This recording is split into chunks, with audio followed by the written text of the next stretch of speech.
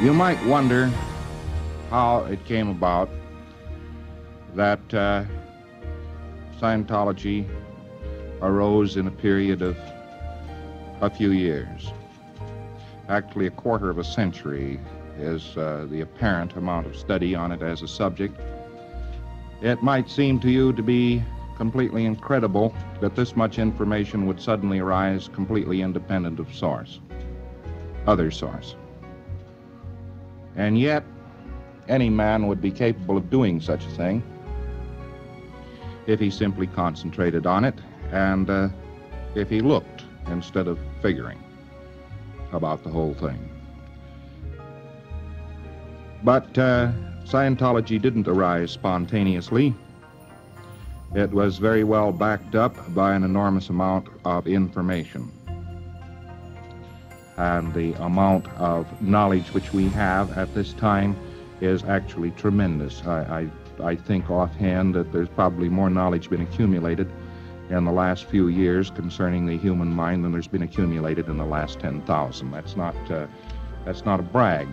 It's merely because one used everything that was known in those 10,000 years, and he used everything that he could see, and he used a world which had come up to the idea that we must be factual, not speculative, and we must prove everything we do, and we must observe everything and make sure it's true, and above all, we must get an effect. We must hit that blow.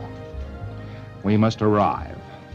And having imbibed that lesson very, very well, I was very uh, determined that we would bring this investigation up to a level where it was intensely workable, not by some savant, some soothsayer, some mummified relic sitting on top of a mountain getting cold in the snow, uh, but by anybody who cared to use it, and that seemed to me to be an admirable goal.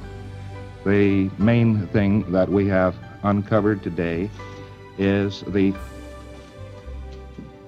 state of beingness which one uh, actually has. Instead of speculations about does man have a soul or doesn't man, we have data. We, we know exactly what a thing is. Uh, we know tremendous numbers of things with great accuracy. And furthermore, we also know that there aren't any more mysteries in terms of phenomena to know in the human mind or body.